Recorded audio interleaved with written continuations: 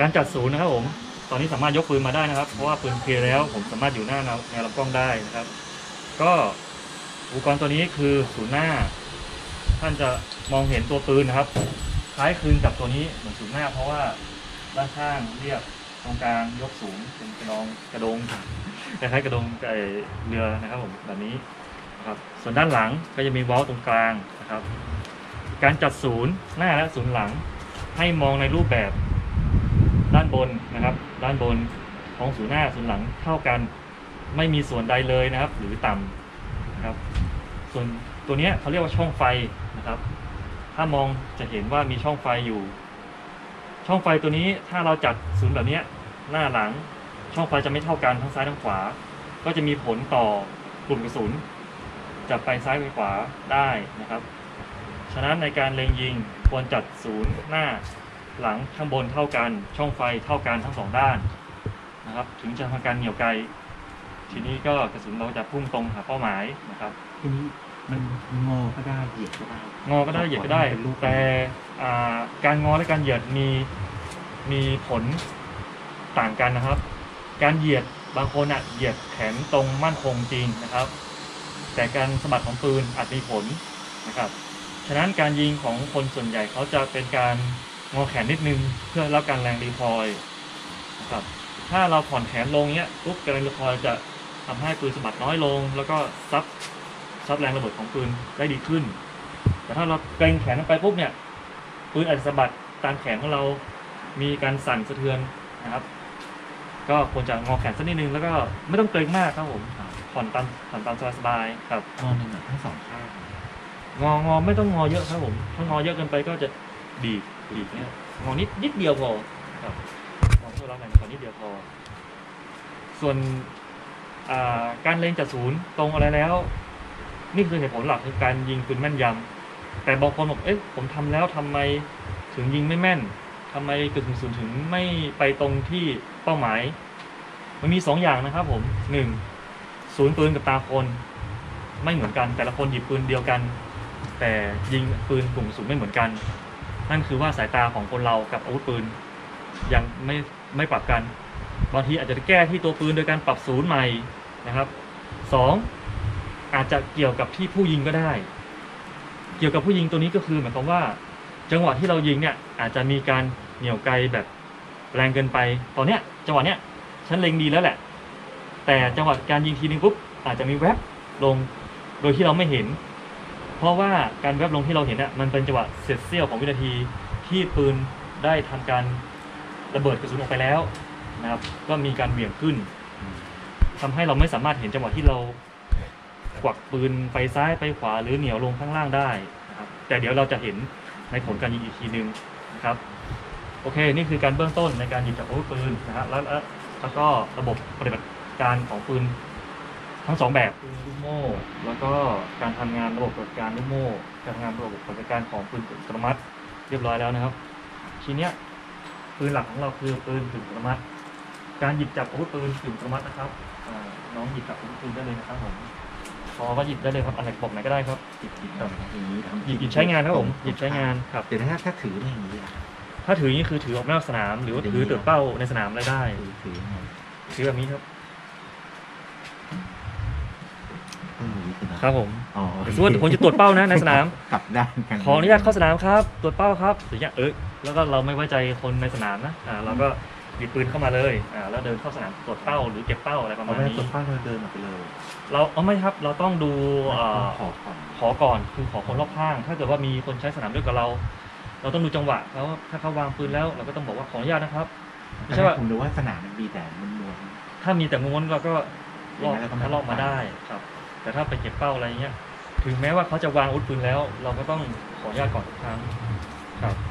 แล้วบางที่มันไม่มีรอบหมุนครับบางที่ก็มีรอบบางที่ก็ไม่มีรอบนี่อันนี้ฝึกจากปืนครับ ส่วนการหยิบจับอาวุธปืนกึ่งอัตโนมัตินะครับ ผม ถ้าถนัดมือขวาถนัดมือขวานะใช่ไหมครับ ครับ ถ้าถนัดมือขวาก็ลักษณะอ่าการแบมือนะครับผมแบมือลักษณะนิ้วโป้งห่างห่างแบบนี้เพื่อทำการกระชับด้ามปืนนะครับ ลักษณะนี้ ส่วนมือซ้ายนะครับผมลักษณะเดียวกันแต่ว่าหักข้อมือลงเป็น45องศาให้นิ้วโป้งของเรานะครับ ขนานเป็นทางท่อนแขนครับมีไหมครับผมเพื่อที่จะทำการขนาดกริปอาวุธปืนนะครับ ส่วนถ้าลูกโม่เนี่ยเขาจับแบบนี้ใช่ไหมครับ แต่ถ้าเป็นปืนกลมัดจะอยู่ในลักษณะที่นิ้วมือ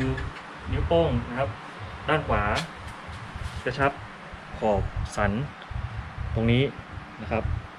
ขอบขอบตรงไหนวะอ่ามันจะมีตำแหน่งของร่องมือเรานะครับตำแหน่งของร่องมือเราคือกระดูกตรงนี้กับตรงนี้นะครับ แล้วก็ร่องตรงนี้ตรงนี้จะมาบรรจบกัน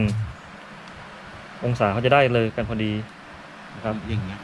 ครับบางคนจับแบบนี้ก็ก็ได้แต่ว่ามันยังไม่กริปสุดนะครับ ต้องขยับมาอยู่ตรงนี้ ข้อตรงนี้อยู่ตรงให้นี้ให้ตรงนี้มาอยู่ตรงนี้ครับ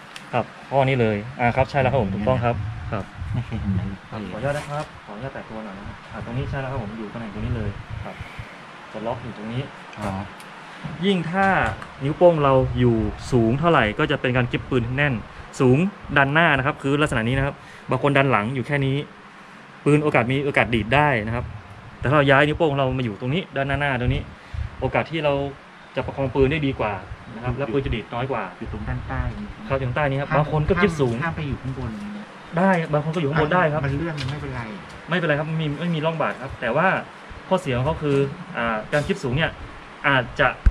ทำให้มีผลต่อการยิงนัดสองนัดสามเพราะว่านิ้วโป้งเราไปดันศูนย์ดันตัวปืนมากเกินไปเขาถึงว่าอยู่ข้างล่างข้างล่างครับจริงไหมอะครับผมแล้วข้อเสียของการเก็บปืนที่นิ้วโป้งสูงก็คือสองอ่า สไลด์อาจจะทำงานไม่เต็มที่นัดสองนัดสามอาจจะทำให้ลูกกระสุนไม่สามารถป้อนเข้าลำเพลิงได้ เนื่องจากสปริงเขาทำงานไม่เต็มที่ถ้าได้อย่างถ้านิ้วโป้งมันอยู่ระหว่างสองอันเนี้ยมันจะมีอันตรายเวลามันดีดถ้าเราบีบอย่างเงี้ยโอกาสมีอันตรายครับผม เพราะว่าตัวเนี้ยจะไปทำการกัดผิวหนังนิ้วโป้งของเราอ๋อที่ต้องต้องไม่ให้โดนอย่างเงี้ยครับไม่ให้โดนครับผมก็อยู่ข้างห้ามโดนข้างล่างแนวนี้ แต่ปืนก๊อกเขาออกแบบมาดีครับ ไม่ว่าจะยึดสูงหรือยังไงเขาจะไมมีทางบาดมือ เขาจะมีโค้งลบเหลี่ยมให้ ฉะนั้นปืนตัวเนี้ยถึงเป็นที่นิยมกันในการใช้งานนะครับคือแต่แล้วแล้วถ้าจับนี้จริงๆก็ได้ยิงก็ได้คแต่รับผมจะไม่ควรอยู่ระหว่างครับผมอ๋อครับ บางคนก็แล้วไอ้ตรงชินตรงนิ้วโป้งนี่ควรจะพุ่งไปข้างหน้าหรือว่าอืมอยู่อยู่อยู่ตรงนี้ครับผม คือเขาจะลอยหน่อยนึงครับอ๋อ นิ้วโป้งมือขวาเขาจะลอยหน่อยนึงลอยๆตรงนี้ลอยๆหนึ่งข้อ อืมแล้วตรงนี้หนึ่งข้อนะครับผมมีสองข้อด้วยกันอืม คือกระดูกตรงนี้จะอยู่ร่องตรงนี้พอดีเลยเนี่ยครับกระดูกมาเนี่ยครับ นี่ครับผมตรงนี้จะอยู่ข้อตรงนี้พอดีเลย ข้อข้อของตรงนี้อ๋อครับกระดูกตรงถ้านี้อยู่ตรงนี้ครับ ถ้าเรากิฟถูกต้องอันนี้ตัวนี้ก็อยู่ตรงนี้เอาเส้นวาดเส้นตรงนี้เลย ให้เอ๋เลยหนึ่งเส้น อ่าวาดเส้นลงมา ลงมาถึงอีกมืออีกนิดนึงต่อเนื่อง อ่า หรือถ้าไม่ชัวร์เอาข้อตรงนี้ อีกข้อหนึ่งลงมาอืม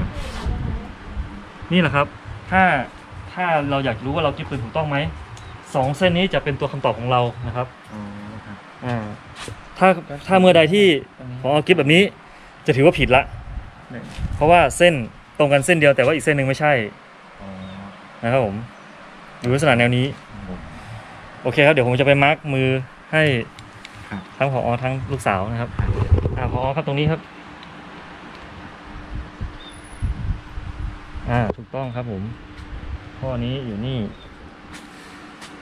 ครับ แล้วข้อนี้อยู่ตรงนี้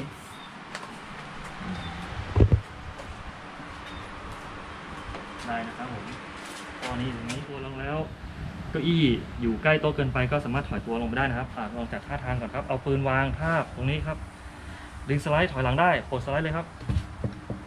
ทำเหมือนจะยิงจริงนะครับปากกระบอกปืนอย่าหันอย่าหันเข้ามาหาหาผู้ยิงอ่าถ้าทำไม่ได้นะครับผมอันดับแรกนิ้วน้องเขาอาจจะยังไม่สามารถกดได้สองตัวเนี้ยมันออกแบบมาให้ราบเรียบกับตัวปืนเกินไปนะครับอืมก็จะใช้วิธีนี้นะครับผมดึงถอยหลังเลยนะครับ เพราะจะทำให้รวดเร็วกว่าเดิมครับ ถ้าเราไปกดไม่ทันแน่นอน ถ้าเกิดใช้ชีวิตจริงนะครับ ก็ดึงเลยดีกว่านะครับโอเคมาเอาปืนวางทาบนะครับแล้วเอาตรงไหนวางอ่าตรงนี้ทาบครับผมครับถ้าสถานะนี้ได้ครับไม่เป็นไร แต่ถ้าเกิดว่าไม่ได้นะครับ ผมตัวเราก้มต่ำไปแล้วก็วางตรงนี้นะครับวางนี้เอามือเราเอามือเราไปวางตัวนี้ก็เลยก็ยังได้นะครับ ขึ้นอยู่กับว่าอันไหนหนักแล้วก็มั่นคงกว่านะครับ เอ๊ะมือเราวางแท่นวางเราวางวางตรงนี้จะดีกว่าเอาปืนวางอ่าโอเคก็ได้ เพราะว่าหลักการสำคัญก็คืออยากจะให้ผู้ยิงจัดศูนย์และลากไกลก่อนนะครับโอเคครับ ทีนี้น้องมองศูนย์หน้าศูนย์หลังให้เหมือนกับการที่สอนเมื่อกี้นะครับ อยู่ระดับเดียวกันนะครับศูนย์หน้าอยู่ตรงกลางตัวนี้ไหมเห็นหรือยังครับถนัดตาซ้ายหรือตาขวาครับทางซ้ายค่ะถนัดตาซ้ายแต่ว่ามือยิงมือขวาถนัดมือขวาเหรอต้องเปลี่ยนไหมฝึกใหม่เอ่อมันก็ขึ้นอยู่กับความถนัดของบุคคลนะครับผมแต่จริงๆแล้วเนี่ย มือขวาใช้ตาขวา นะครับ แต่ถ้ามองตาขวาไม่ชัด ก็ใช้ตาซ้ายแทนนะครับผมไม่มีปัญหาครับ ขอให้ยิงปืนถูกโดนเป้าก็พอ เราไม่จำเป็นต้องว่าให้โดนฝึกขวาได้ไหมลูกอ่าไม่จำเป็นต้องเอาแบบว่าเอาแม่นยำไม่ใช่นะครับถ้าจะเป็นนักกีฬาเขาก็ต้องตาขวาใช่ไหมตาขวาครับผมเอาขวาฝึกขวาเพราะว่าไม่เคยฝึก ไม่ถ้าแต่ว่าถ้าเขามีปัญหาเรื่องตาขวามองเบลอร์ก็ใช้ตาซ้ายนะครับ ไม่ไม่มี ไม่มีนะครับผมโอเคงั้นใช้ตาขวา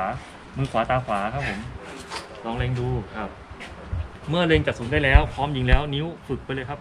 เข้ากลไกได้เลย เว้นแต่ว่าถ้ายังไม่พร้อมก็ยังไม่ต้องเอานิ้วเข้ากลไกนะครับ ถ้าเราถ้าเรามองเห็นภาพนี้เมื่อไหร่ครับศูนย์หน้าและศูนย์หลังศูนย์หลังจะอยู่เรียงตัวอักษรตัวเลขนี้เลยครับเราก็เหนี่ยวไกได้เลยครับ เว้นแต่ว่าบางคนที่จัดศูนย์ปืนปรับศูนย์อาวุธปืนเขาเรียกว่าเล็งนั่งแท่นถ้าเล็งนั่งแท่นเขาจะปรับศูนย์ปืนแบบนี้ พื่อที่ยิงแล้วกลุ่มกลุ่มกระสุนอยู่ตรงกลางเป้า อันนี้คือสำหรับพวกที่นักกีฬายิงปืนที่ยิงเป้าระยะไกลกันเขาจะทำแบบนี้นะครับ แต่ว่าอ่าทั่วไปเนี่ยเขาจะจัดมักจะจัดศูนย์ให้เป็นลักษณะแนวนี้ หรือปืนโรงงานก็ตาม ปืนโรงงานที่ออกมาเขาจะจัดศูนย์แบบนี้นะครับฉะนั้นมันมันไม่ใช่ตรงกลางตัวเลขเหรอครับเอกกลางตัวเลขครับผมเนี่ยครับถ้ากลางตัวเลขหมายถึงว่าเลขแปดหายไปครึ่งหนึ่งอย่างเงี้ยเลขไปหายครึ่งหนึ่งเราเลื่อนขึ้ไปอีกอ๋ออย่างนี้เหรอครับเอออย่างนั้นหรือเปล่า ครับการเลงจี้มีสองแบบนะครับผลออกมาจะจะเราจะรู้เองว่าปืนเราโรงงานปรับมาแบบไหนนะครับ แต่ถ้าปรับมาแบบเนี้ยโอเคเลยมันมันจะมองเห็นชัดเจนนะครับมองเห็นว่าเออศูนย์หลังอยู่อยู่แนวบนนี้นะครับ ถ้าเรามองมุมเนี้ยปุ๊บมันบางคนบอกเอ้ยมันเห็นน้อยไปนะฮะแต่เดี๋ยวเดี๋ยวดูก็รู้ครับผม เพราะว่ามันจะไม่หนีกันเท่าไหร่ในวงสิบ ขึ้นลงจะไม่หนีกันเท่าไหร่นะครับศูนครับผมก็ใช้มือซ้ายเป็นตัวถือแมกกาซีน ส่วนมือขวาเนี่ยมือใหม่นะผมแนะนำว่าควรจะหยิบจับปลอกกระสุนแบบนี้นะครับ เพื่อที่ว่าใช้นิ้วชี้กับนิ้วกลาง ประคองซ้ายขวา ส่วนนิ้วโป้งกดดันลงไปแบบนี้ครับ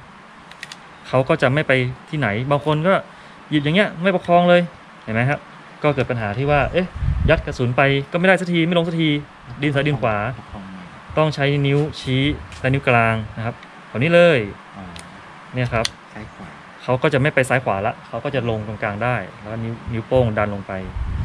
การดันลงไปนะครับผมบางคนก็ดันอย่างนี้ เอ้ยไม่เข้าสักที ก็เพราะว่าไปโดนขอบสองข้างของ magazine ฉะนั้นการดันจะอยู่ช่วงนี้เป็นต้นไปนะครับผมถึงตรงนี้ แต่ถ้าดันแถวเนี้ยมันก็จะโดนปลอกเหมือนเดิมนะครับ เขาจะมีช่องว่างให้ให้ประมาณนี้อ่า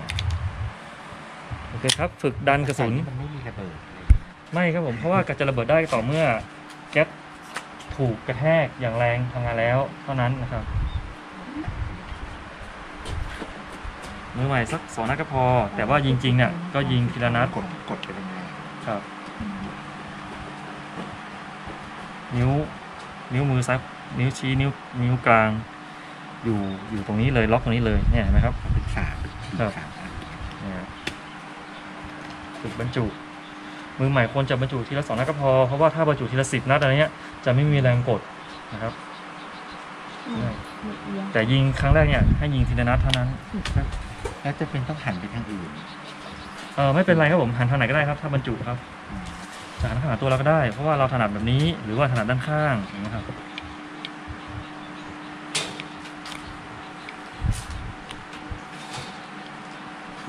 ยังครับยังไม่เข้ายังไม่ลงเลย ยังครับ เพราะว่ายังอยู่ข้างอ่าจานท้ายกระสุนยังอยู่ตรงขอบเหล็กฉะนั้นต้องอยู่หน้าขอบเหล็กของแมกกาซีนตั้งตั้งตั้งให้มันเลยเหล็กหน่อยนิดหนึ่งยังยังเด็กอยู่ครับคอยังไม่แข็งอันนี้อยู่อยู่ข้างในเหล็กละไม่ได้ไม่ได้ต้องต้องอยู่ข้างหน้าครับ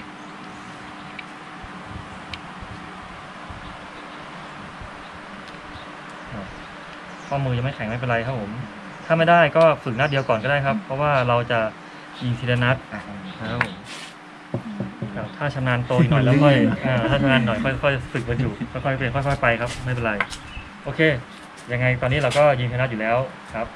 ก็ฝึกบรรจุเหมือนกับที่เคยอ่าบอกไว้เมื่อเช้านี้บรรจุครับ อันนี้คือมือใหม่สามารถมองอะไรได้หยิบอะไรได้